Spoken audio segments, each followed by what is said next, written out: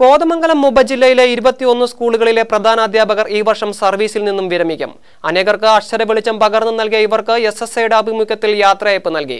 വിവിധ സ്കൂളുകളിൽ സേവനമനുഷ്ഠിക്കുന്ന അറുപതോളം അധ്യാപകരും ഈ വർഷം സർവീസിൽ നിന്ന് പിരിയും. കോതമംഗലം ഉപജില്ലാ പരിധിയിൽ പ്രധാന അധ്യാപകർ കൂട്ടത്തോടെ പടിയിറങ്ങുകയാണ്. രണ്ട് പ്രിൻസിപ്പാൾമാരും പത്തൊമ്പത് പ്രധാന അധ്യാപകരുമാണ് വിശ്രമ ജീവിതത്തിലേക്ക് പ്രവേശിക്കുന്നത്. കോതമംഗലം മാർബേസിൽ ഹയർ സെക്കൻഡറി സ്കൂളിലെ ജോർജ് മാത്യു സെയിന്റ് അഗസ്റ്റിൻസിലെ സിസ്റ്റർ മരിയാൻസി എന്നിവരാണ് വിരമിക്കുന്ന പ്രിൻസിപ്പാൾമാർ. K A Valsa P J Rani A D Benny sister T J Annie N Shobhana Lissy Mathew G Sulochana K M Gracy Lucy Immanuel Dolly James L C K Varghese K K Sumathi P P Jameela Georgina Joseph Rosemon Lonappan N S Susheela K K Salma A M Ramla എന്നിവരാണ് ഔദ്യോഗിക ജീവിതം വിട്ടൊഴിയുന്ന പ്രധാന അധ്യാപകർ.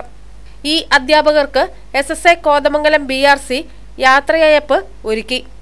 ഇതോടൊപ്പം Jimmy Joseph Raju Paul എന്നീ കായിക അധ്യാപകർക്കും senior diet അധ്യാപിക ലിസിസ് കറിയയ്ക്കും യാത്രയയപ്പ് നൽകി. സമ്മേളനം Antony John M L A ഉദ്ഘാടനം ചെയ്തു. കേരളത്തെ സംബന്ധിച്ച് പരിശോധിക്കുമ്പോൾ നമുക്കറിയാം വിദ്യാഭ്യാസ മേഖലയിൽ നമ്മൾ വലിയ മുന്നേറ്റം നടത്തിയിട്ടുണ്ട്. അങ്ങനെ നമ്മൾ മുന്നേറ്റം നടത്തിയതിന് പിന്നിലും ചാലക ശക്തികളായി പ്രവർത്തിച്ചത് കേരളത്തിലെ അധ്യാപക സമൂഹം തന്നെയാണ്. ഒരുപാട് പ്രതിഭാശാലികളായിട്ടുള്ള അധ്യാപകർ നമ്മുടെ കേരളീയ സമൂഹത്തിൽ എല്ലാ മേഖലയിലും നമുക്ക് നോക്കിയാൽ നമുക്ക് അവരെ എല്ലാം ദർശിക്കാൻ വേണ്ടി കഴിയും.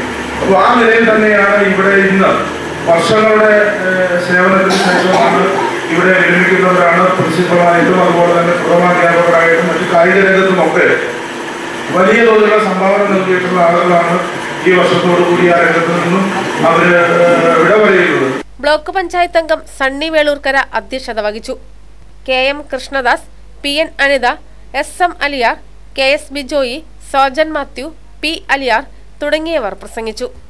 K C V news Kothamangalam.